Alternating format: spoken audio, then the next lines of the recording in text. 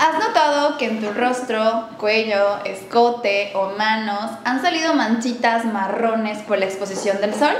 Pues en algunos pacientes sí. Hoy estamos con dos expertos en toda la parte de medicina estética hablando de despigmentar manchas y vamos a enfocarnos en el tratamiento del láser Lutronic, ¿ok? Hola doctor, ¿cómo están? Muy bien. Karen, ¿cómo están? Muy bien, doctor gracias. Gilberto y Karen van a platicarnos sobre todo este tema. Doctor, ¿qué es el láser Lutronic? Bueno, primero que nada es un láser, eh, todos los láseres son luces que pasan a través ya sea de rubíes o de lentes especiales que generan un tipo de luz específica con una onda y una radiación específica.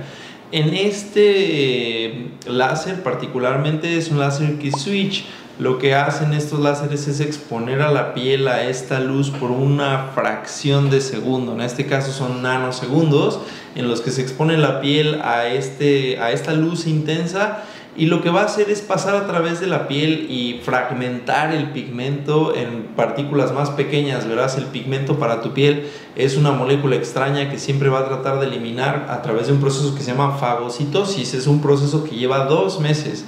Nosotros lo estimulamos dividiendo estas eh, partículas de pigmento en fragmentos muy pequeños para que sean más fáciles de fagocitar por tus células, porque las células son de un tamaño pequeño y las partículas de pigmento que produce la piel cuando tú le das eh, daño del sol o la expones a la luz son moléculas muy grandes, entonces hay que dividirlas en fragmentos pequeños para que sean fagocitables.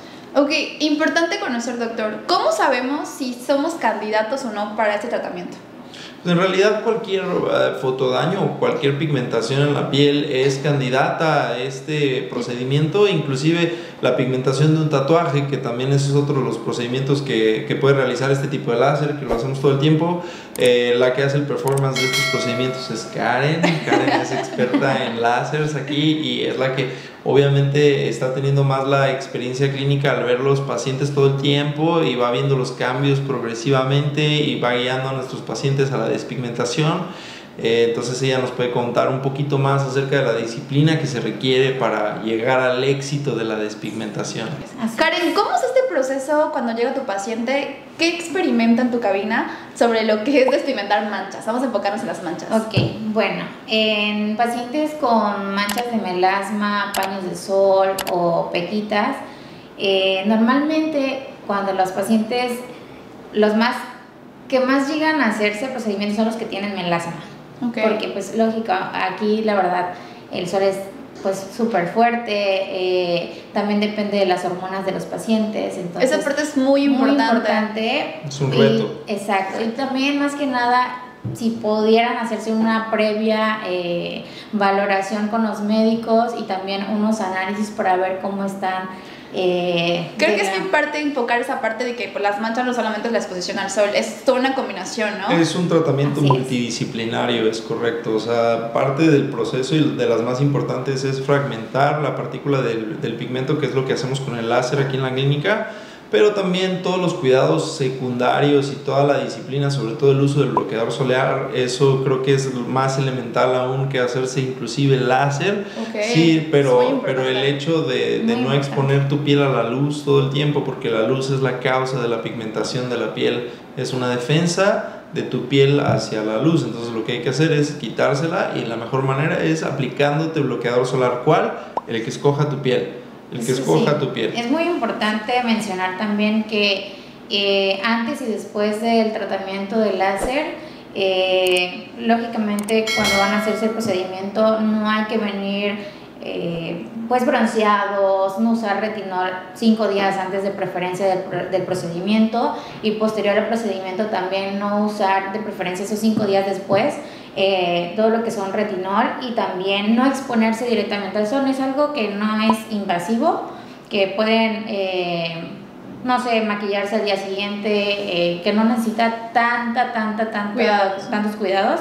Pero sí es muy importante el bloqueador cuidados. solar desde el primer día que se realiza el procedimiento para que no se vayan a hiperpigmentar después del procedimiento. Como todo el láser es importante como los cuidados antes y después del tratamiento. Así es. ¿Cada cuándo se recomienda hacer el láser, por ejemplo, no de manchas de melasma? Tenemos un protocolo muy eh, como específico en, en pacientes con manchas de melasma. Se pueden hacer cada 8 días o se pueden hacer cada 15 días dependiendo del grado de mancha que tenga el paciente.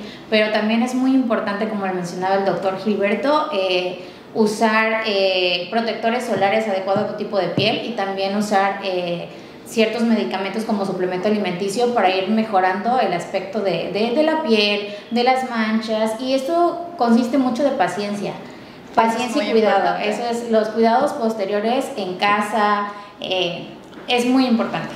Doctor, y para finalizar, pues siempre decimos que es una competencia en desventaja, pero que sí podemos ganar, porque la verdad es que el pigmento se va a colocar en la piel de un día al otro, tus melanocitos en protección a tu piel lo van a colocar de un día al otro si tú te vas al barco, te expones a la luz, Aquí la luz obviamente la radiación es mayor porque la, el arrecife de coral refleja esa radiación, por eso los colores tan espectaculares de la playa que tenemos aquí, pero eso hace que la radiación sea mayor, entonces hay que reaplicar el bloqueador solar, hay que tener esa disciplina y obviamente la multidisciplina, todas las herramientas que puedan sumar, bloqueador solar, suplementos alimenticios, el láser, y algunos despigmentantes en la noche que podemos recomendarte según el tipo de piel aquí en la clínica, aquí en One Line agenda tu cita cuando gustes y puedes venir a valorarte.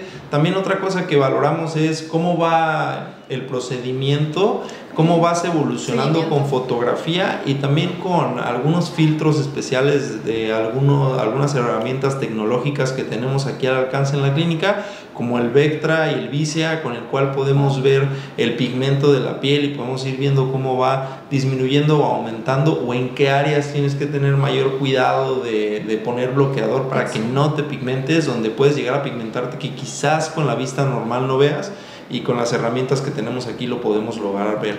Así que ya saben, tenemos aquí a los expertos para despigmentar manchas, el doctor Gilberto y a Karen. Nos esperamos que acudan a la clínica y no olviden seguirnos en nuestras redes sociales y nos vemos pronto. Nos vemos pronto. Bye.